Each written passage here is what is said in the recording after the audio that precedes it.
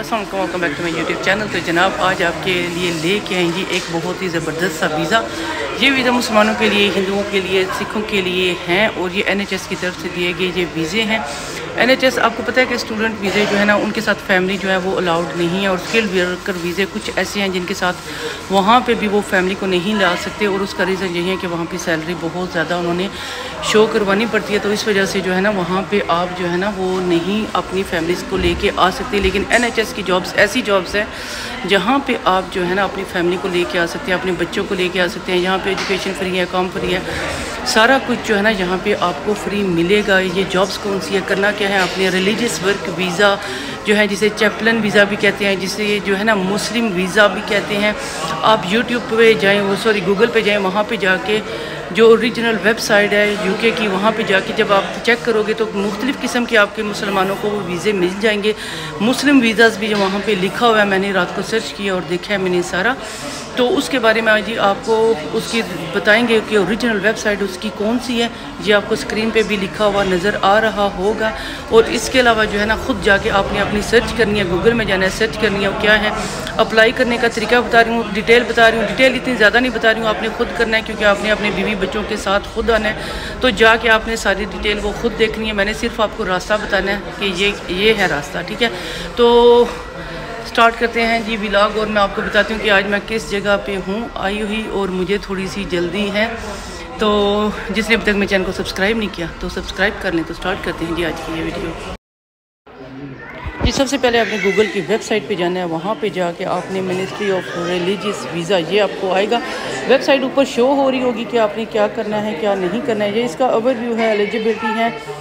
इसके अलावा जनाब, ये देखिए डॉक्यूमेंट्स आपको कौन से चाहिए? अप्लाई फ्राम आउटसाइड यूके इसके अलावा पार्टनर आपके साथ आ सकते हैं या नहीं आ सकते वीज़ा एक्सटेंड करवा सकते हो, नहीं करवा सकते हो वीज़ा स्विच हो सकता है। क्या सारा प्रोसेस है अप्लाई कैसे करना है, ये सब डिटेल इसमें है और अप्लाई करने का तरीका भी इसमें दिया हुआ है।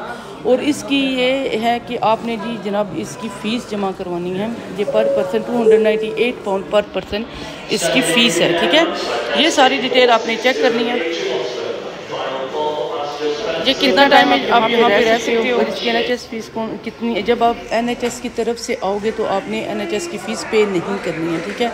ये जो हो गया सेवन हंड्रेड नाइनटीन आपको नज़र आ रही है या सेवन हंड्रेड ट्वेंटी सेवन वो आपने शो नहीं करनी है सिर्फ़ आपने फ़ीस देनी है अप्लीकेशन की। जब आप पे, अपने पेपर सबमिट करवाओगे यहाँ पे तो आपने अपनी फ़ीस और देनी है।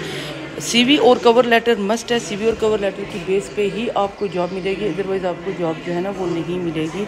मतलब ये कि अगर आपके सीवी और कवर लेटर अच्छे हों तो आपको जॉब मिलेगी प्लस आपको वीज़ा मिलेगा उस बेस पे। तो आपने एलिजिबिलिटी चेक करनी है। इसमें क्या है? इसके अलावा इसमें डॉक्यूमेंट्स कौन कौन से लगने हैं?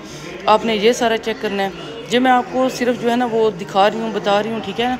बाकी डिटेल आपने ख़ुद सारी जान के चेक करनी है। ये जाके डॉक्यूमेंट्स इसके चेक करें जी। ये आगे नेक्स्ट नेक्स्ट करते जाएँ। ये नॉलेज ऑफ़ इंग्लिश आपको थोड़ी बहुत जो है ना वो इंग्लिश आनी चाहिए, क्योंकि आपने हेल्प करनी है यहाँ पे आके पेशेंट की।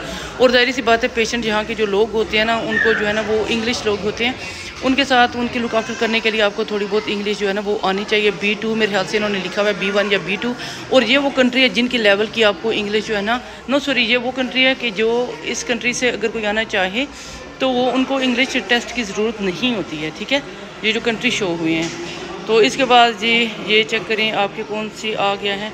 वीज़ा स्विच कर सकते हैं या नहीं कर सकते, इसके बारे में भी इन्होंने डिटेल दी हुई है। मेरे ख्याल से कि जितना ये वीज़ा इन्होंने बताया है, जितना साल का, दो साल का है, तीन साल का है, जब तक वो पूरा नहीं आप हो जाता, आप वीज़ा स्विच नहीं करवा सकते और उसके बाद जो है ना, आप वीज़ा जो है वो करवा सकते हो अपना स्विच किसी भी और एन अदर कैटेगरी में आप जो है वीज़ा स्विच करवा सकते हो।